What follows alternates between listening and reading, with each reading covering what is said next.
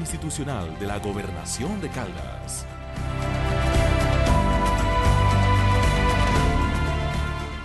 Y los caldenses seguimos sintonizados con el programa institucional de la Gobernación de Caldas, Territorio de Oportunidades, donde pueden ver todas las actividades y proyectos que se desarrollan en los municipios. También pueden hacerle seguimiento a estos proyectos a través de nuestras redes sociales en arroba gobercaldas en Twitter e Instagram y Gobernación de Caldas en Facebook.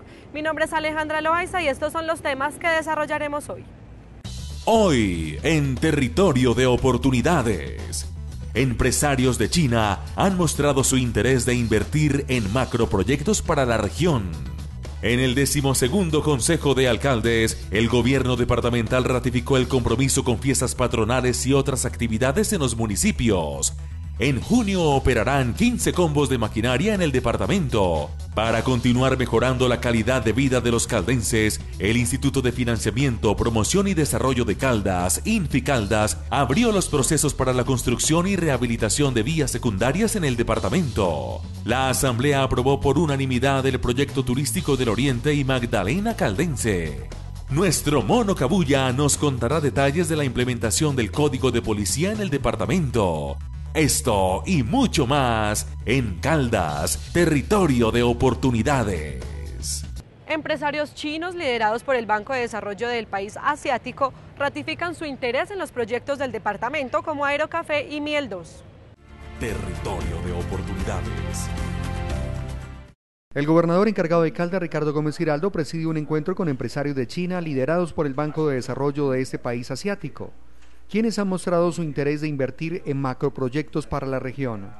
Ellos están específicamente conociendo en detalle dos proyectos de importancia para el departamento. Uno es el aeropuerto del café y el otro es el proyecto Miel 2 y otros potenciales hidroenergéticos y de geotermia que hay en el departamento. Entonces lo que estamos haciendo es poniendo a un nivel, digamos, eh, mayor de lo que ya habíamos hecho en el pasado, porque el Banco de Desarrollo Chino puede ser un financiador de esas empresas chinas que puedan eh, ofrecer eh, mediante una licitación su participación en uno o en los dos proyectos.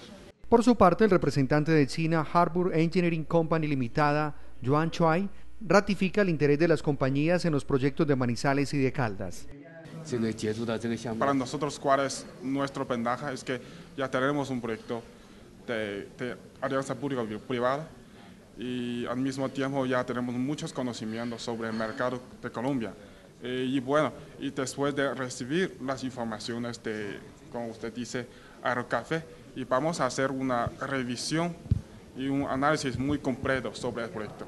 Y básicamente lo que han buscado en esas visitas es conocer a fondo el proyecto, conocer el sitio de construcción del proyecto y toda la zona que es la que finalmente va a generar los productos a transportar a través del aeropuerto del café. Eh, yo creo que hay una buena intención de todas las compañías chinas y hoy eh, veo que llegan nuevos empresarios chinos con el ánimo de conocer los diferentes proyectos de Caldas, entre ellos Miel 2 y Aeropuerto del Café.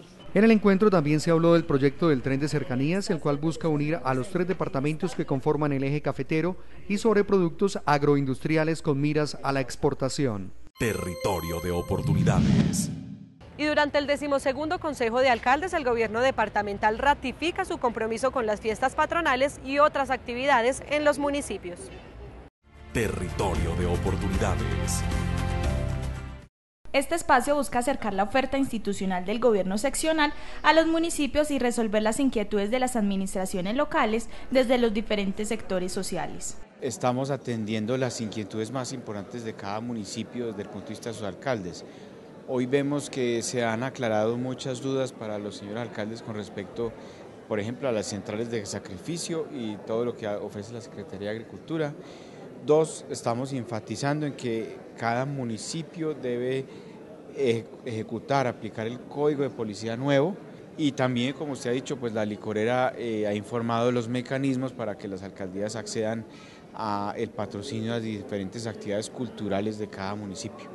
En esta oportunidad, la industria licorera de Caldas presentó su oferta de patrocinio a las fiestas patronales de las localidades para el 2017, que cuenta con 1.200 millones de pesos. En el caso del tema de los recursos para los artistas, allí los queremos apoyar de manera más activa, queremos participar en los comités organizadores de todas esas fiestas para poderles dar a ellos opciones, eh, estrategias, posibilidades y, aportarles pues toda la experiencia que tiene el equipo de mercadeo de la industria licorera de Caldas. Con respecto a las fiestas de Caldas, los alcaldes agradecieron a la industria licorera el respaldo para la realización de las festividades. Primero que todo, eh, agradecer porque ha sido un apoyo incondicional en, en toda la realización de las actividades y eventos en nuestro municipio. Eh, simplemente, mm, muy respetuosamente comparto la idea de, la cofinanciación que ellos nos brindan sea un poco más oportuna debido a que en ciertos momentos hay una demora en, en, la entrega del recurso y pues la verdad que sí se nos dificulta a nosotros para hacer la realización de las actividades. Territorio de oportunidades. Y esta es una información muy importante para la comunidad del departamento, ya que en el mes de junio operarán 15 combos de maquinaria para hacer mantenimiento periódico en las vías departamentales. Territorio de oportunidades. Desde la Secretaría de Infraestructura se presenta oficialmente a los alcaldes de los municipios del departamento el cronograma de trabajo de los combos de maquinaria, los cuales iniciarán los trabajos de mantenimiento periódico en las vías departamentales. Tenemos varios recursos de inversión para, trabajar con los cupos de maquinaria, debido a que hemos tenido que estar atendiendo las emergencias que se han presentado por el invierno. No hemos podido hacer el mantenimiento periódico. El mantenimiento periódico es colocar el combo completo, colocar afirmado, compactarlo y, y afinarlo para que las cunetas queden reconformadas. Este mantenimiento no se ha hecho en la mayoría de las vías del departamento y vamos a tener que empezar a hacerlo así sea en invierno. La Gobernación de Caldas hará un convenio con el Comité de Cafeteros y otras entidades para vincular entre cinco o seis combos de maquinaria adicionales a los del departamento al proceso de mantenimiento periódico. Territorio de oportunidades. Inficaldas abrió procesos de licitaciones públicas para la construcción y rehabilitación de vías secundarias en el departamento. Territorio de oportunidades. Para continuar mejorando la calidad de vida de los caldenses, el Instituto de Financiamiento, Promoción y Desarrollo de Caldas, Inficaldas, abrió los procesos para la construcción y rehabilitación de las vías secundarias en el departamento mediante la publicación de los proyectos de pliegos de los procesos en el Sistema Electrónico de Contratación Pública, SECOP 2. Primero, Inficaldas no lo hace a puerta cerrada, lo hace con un equipo interdisciplinar por eso nosotros solicitamos que participara la Gobernación de Caldas a través de la Secretaría Jurídica, a través de la Secretaría de Planeación. También en su momento se lo solicitamos a la Secretaría de Infraestructura y asimismo el Plan Vial tiene contratado un asesor eh, de talla nacional en el tema de contratación para el tema de Colombia Compra Eficiente. Entonces yo creo que ahí pues hay un parte de tranquilidad en el sentido de que si hay observaciones o algo, pues es un proceso normal de cualquier prepliego, pero que estamos ajustados a derecho, que estamos ajustados a todo el tema de la ley y obviamente siguiendo los parámetros de común acuerdo con la gobernación. De la misma manera se realizarán los concursos de méritos para elegir las interventorías para cada uno de los procesos mencionados. La cifra. El valor total de las obras es de 24.935.344.576 y de las interventorías 2.086.606.614. El dato. Los recursos para estas obras de construcción y rehabilitación de vías secundarias provienen de regalías. Territorio de oportunidades. La Gobernación de Caldas, a través de la Secretaría de Agricultura, trabaja con las centrales de sacrificio para hacer el cumplimiento de la Ley 1500. Territorio de oportunidades. El secretario de Agricultura Ángelo Quintero Palacio presenta un balance de cómo se encuentra el departamento en el cumplimiento del decreto 1500, que entró en vigencia el 8 de agosto de 2016, con el fin de modernizar las centrales de sacrificio con parámetros de inocuidad, cadena de frío y calidad. El departamento de Caldas viene acompañando a todos los municipios para que los municipios puedan cumplir. Entonces les hemos acompañado con un ingeniero de alimentos, hoy estamos trabajando con Corpo Caldas para todo el tema de vertimientos eh, de los residuos sólidos y todo lo que se debe hacer en las PETAR.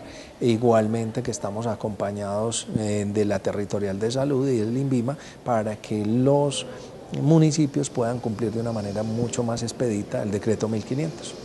Los municipios que cierren las plantas de autoconsumo deberán buscar una central regional que les permita proveer el sacrificio de los animales. Manizales y La Dorada tienen dichas centrales. Territorio de oportunidades. y esta es una información muy importante en esta época invernal, pues presentan avances en la construcción de la red de monitoreo y pluviosidad del departamento. Territorio de oportunidades. El gobernador encargado de Calda, Ricardo Gómez Giraldo, el jefe de servicios y alertas del Instituto de Hidrología, Meteorología y Estudios Ambientales IDEAM, Cristian Euskategui, y entidades ambientales y de gestión de riesgo del departamento, socializaron los avances del proyecto que pretende constituir una red de monitoreo pluviométrico en Caldas. Sobre todo hemos presentado un proyecto de constituir a iniciativa del IDEAM o tener para el eje cafetero un radar eh, meteorológico que nos permita hacer pronósticos mucho más eh, exactos del clima, eh, de las lluvias sobre todo en nuestro departamento.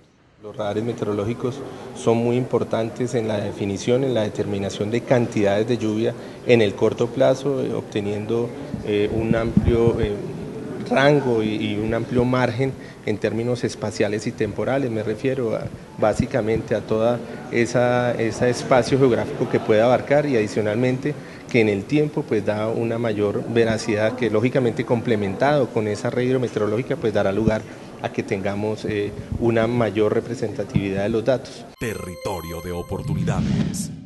Y esta es una información muy importante para las personas de la zona del Oriente y Magdalena Caldense, ya que la Asamblea aprobó por unanimidad el proyecto turístico de esta zona del departamento. Territorio de oportunidades. Durante las sesiones ordinarias que se realizaron en la Asamblea de Caldas, se aprobó por unanimidad en segundo debate el proyecto de ordenanza número 030, que busca adoptar como una herramienta de política pública el Plan Estratégico de Turismo del Oriente y Magdalena Caldense. Este es un proyecto en el cual se han invertido más o menos 1.500 millones de pesos en recursos. Recordemos que este es un proyecto que viene desde hace más o menos eh, 4 o 5 años, ¿sí? y la construcción de todo ese plan pues, ha involucrado trabajo con la comunidad, con las alcaldías, con la institucionalidad turística que hay alrededor de todos estos temas. Eh, y es un, un, trabajo, yo creo que resaltar porque ese trabajo con la comunidad ha sido muy, muy, muy interesante en la medida en que conocemos cuál es la problemática real y le apuntamos directamente a proyectos que nos ayuden a reducir las brechas eh, que tenemos en, en el departamento. El diputado y ponente del proyecto, Omar Andrés Reina, expresó que el plan estratégico brinda equilibrio y genera oportunidades turísticas al oriente del departamento.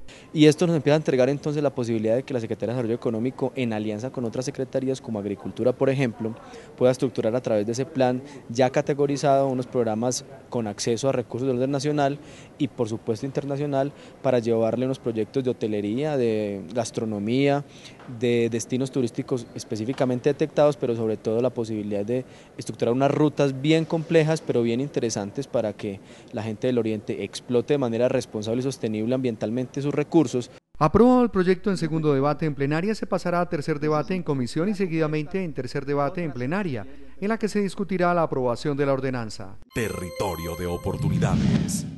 Y debido a la época invernal, el gobierno anuncia importantes inversiones para el mejoramiento del acueducto de Villa María y los subsidios para los damnificados del invierno en Caldas. Territorio de oportunidades. El ministro de Hacienda Mauricio Cárdenas, acompañado del gobernador encargado de Calda Ricardo Gómez Giraldo, del presidente de Findete Luis Fernando Arboleda y de altos funcionarios del gobierno central, recorrieron algunas zonas afectadas por la temporada de lluvias en la capital caldense y en el municipio de Villa María. A todas las personas que están en el registro único de damnificados, el RUT, se les asignará el subsidio para el arrendamiento de vivienda, 250 mil pesos mensuales el primer trimestre se pagará por anticipado. Está ya la instrucción para que la Unidad Nacional de Gestión de Riesgo atienda esos subsidios a todas las personas aquí en Villamaría que están en el RUT. En segundo lugar, el acueducto de Villamaría necesita unas inversiones adicionales para asegurar una adecuada prestación del servicio. Findeter otorgará en los próximos días un crédito por 3.600 millones de pesos para que se puedan hacer esas inversiones, que mejoran la prestación del servicio y sobre todo la aseguran frente a estos fenómenos de carácter climatológico que han afectado al municipio. El gobernador encargado destaca el apoyo del gobierno nacional en las diferentes gestiones que hacen frente a la tragedia invernal en la región. El señor ministro de Hacienda eh, ratifica un apoyo de, de Findeter para que Villa María, con 3.600 millones de pesos, elabore un plan maestro del acueducto y también para que haga unas obras inmediatas. Eso es muy importante para la calidad del agua de Villa María, que ha crecido como pocos municipios en Colombia. Por su parte, el alcalde del municipio de Villa María agradece la labor de la administración departamental y ratificó su compromiso en la elaboración del plan maestro de las obras del acueducto para mejorar la calidad del agua y prestar un buen servicio. Bueno, sí, afortunadamente hemos encontrado eco a nivel nacional eh, gracias entre otras cosas a la formidable gestión que ha hecho el señor gobernador del departamento. Tenemos un panorama más claro, desde luego tenemos un trabajo de, gestión enorme que hacer, pero eh, en eso estamos. Territorio de oportunidades. Y todos los caldenses queremos saber cómo va la implementación del nuevo código de policía en los municipios. Para esto, el vocero de todos, el Mono Cabulla, habló con el secretario de Gobierno de Caldas, Carlos Alberto Piedraíta. Territorio de oportunidades. ¿Qué mono cabulla? Eso hay que echarle moneditas para que funcione, si no, no funciona esa cosa, Ay, mono cabulla. doctor del gobierno. Ay, que no vayan a querer que yo me estaba con ganas de robarme una cosita. No, yo sé que es una persona muy honesta, muy, Eh, muy transparente, mono muchas cabulla. Gracias. Y hablando ahora de robar, con esta cuestión del nuevo código de policía, ¿cómo van? Vamos muy bien, mono. Vamos Sí. implementándoles una herramienta muy importante para los alcaldes. Esperamos el compromiso grande de los alcaldes para que realmente se implemente y se garantice un tema de seguridad y convivencia en todo nuestro departamento de Caldas. Eh, eh, doctor, uno muchas veces que va por ahí caminando y le dan ganas como de hacer pipí. uno cómo hace que... Totalmente que- prohibido. Sí, en la No, calle. recordemos que el tema de espacio público es un tema de un bien colectivo de todos los ciudadanos y lo que ha hecho el Código de Policía es volver a reglamentar dicho código, eh, dicho artículo, el artículo 82 del Código del tema de espacio público, que es un artículo de la Constitución, donde el espacio público es un tema colectivo. Y como es un tema colectivo, todos debemos velar por el bien de ese espacio público. En torno a eso está totalmente prohibido el tema de hacer sus necesidades fisiológicas en espacio público y eso genera una sanción de un salario, cerca de 78 mil pesos diarios por hacer esas necesidades fisiológicas en la vía pública. Bueno, y, y también eh, los que les gustan tomarse los traguitos en los parques, ya tampoco se puede. Totalmente prohibido. El tema de restricción de consumo de bebidas embriagantes, de consumo de sustancias psicoactivas, está totalmente prohibido hacerlo en el espacio público, en los parques, en las vías. En razón a esto, la invitación grande que tenemos que hacer a los ciudadanos es que si van a consumir bebidas embriagantes, lo hagan en los locales que están dispuestos para dichos eventos, eh, eh, los locales comerciales, y segundo, que lo hagan también en sus viviendas, eso sí, también respetando el tema del volumen y los decibeles del sonido, porque eso también genera multas. El tema de que usted consuma bebidas embriagantes en espacio público puede generar una multa hasta cuatro, hasta eh, 32 salarios mínimos legales, que son cerca de 789 mil pesos. Doctor, pero entonces en las fiestas de los pueblos, ¿cómo van a ser si es en los espacios públicos? Esa Ah. pregunta es muy, muy valiosa. Hoy los alcaldes tienen que garantizar de 32 peticiones de reglamentación a través de actos administrativos y a través de seis de acuerdos municipales deben reglamentar el tema del uso de espacio público en aglomeraciones, o sea, en festividades. Esas festividades tienen que ser eh, garantizadas previamente por el comité de riesgo de cada municipio, por el comandante de policía que tiene que ser notificado 48 horas antes y adicionalmente deben velar por la seguridad y la seguridad no tiene que ser en cabeza de la policía sino en seguridad privada Ajá. y el espacio público lo tienen que reglamentar para que la gente que consuma bebidas embriagantes lo hagan en un espacio limitado, delimitado por el alcalde municipal y no salgan a seguir bebiendo a otros espacios públicos que nos ha permitido.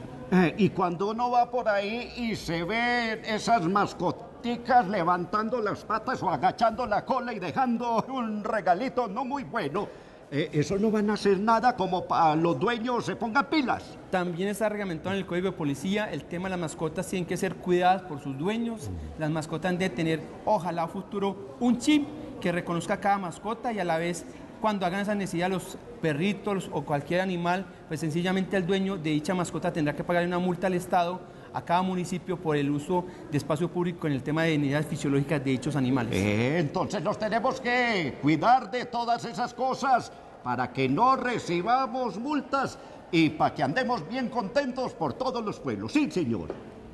Territorio de oportunidades. Y hacemos una pausa para ver información importante del Instituto Financiero de Promoción y Desarrollo, Inficaldas. El desarrollo en infraestructura económica, cultural y social de Caldas es la esencia del Instituto de Financiamiento, Promoción y Desarrollo de Caldas, Inficaldas. Hace de cada proyecto una oportunidad para avanzar a esta próspera región, materializando los sueños y respondiendo a las necesidades de la comunidad caldense. Inficaldas, comprometido con la calidad de vida y el medio ambiente. La unidad de rentas de la Secretaría de Hacienda del Departamento de Caldas invita a todos los deudores morosos del impuesto de carros y motos de más de 125 centímetros cúbicos de las vigencias 2014 y anteriores a aprovechar la amnistía y ponerse al día. Tendrán derecho a beneficios de hasta el 60% de rebajas en intereses y sanciones. Este beneficio aplica solo hasta el 31 de mayo de 2017. Secretaría de Hacienda de Caldas. Caldas, territorio de oportunidades. Territorio de oportunidades. Informativo institucional de la Gobernación de Caldas.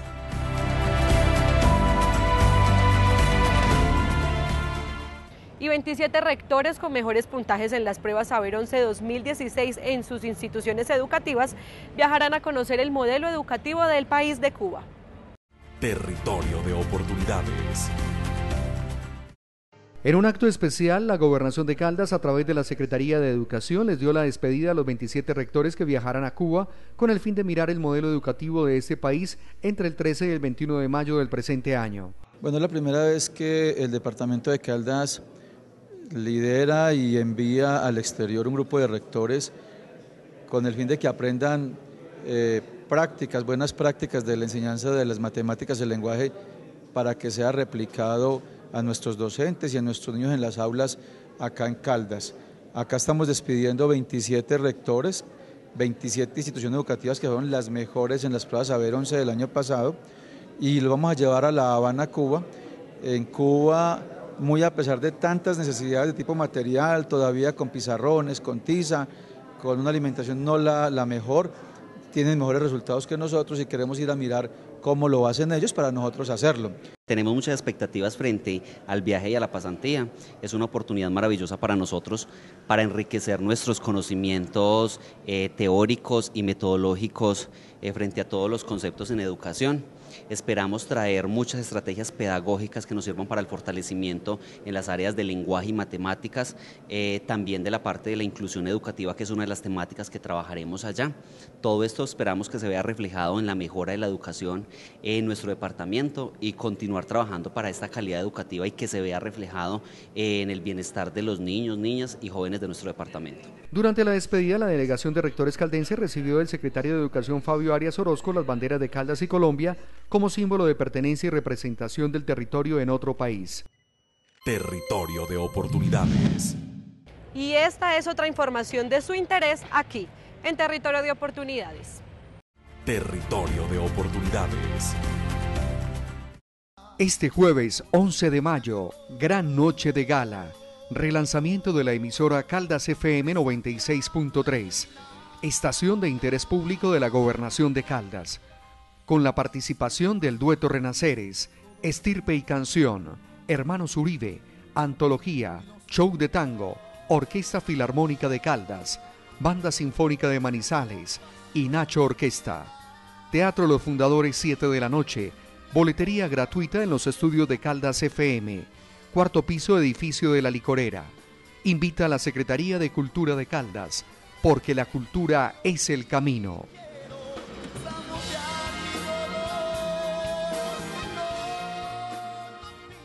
Territorio de oportunidades. Y hasta aquí toda la información del departamento en esta media hora del programa institucional de la Gobernación de Caldas, Territorio de Oportunidades. Si quiere volver a ver la emisión, puede hacerlo a través de nuestra cuenta en YouTube Gobernación de Caldas o a través de nuestras redes sociales en arroba gobercaldas en Twitter e Instagram y Gobernación de Caldas en Facebook. Recuerden que nuestra próxima cita es el miércoles de 6 a 6 y media por el canal regional Telecafé.